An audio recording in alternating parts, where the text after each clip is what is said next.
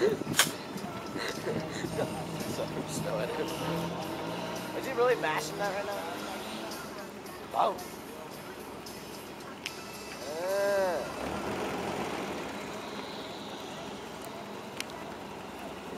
Dude, Matt is mashing right now.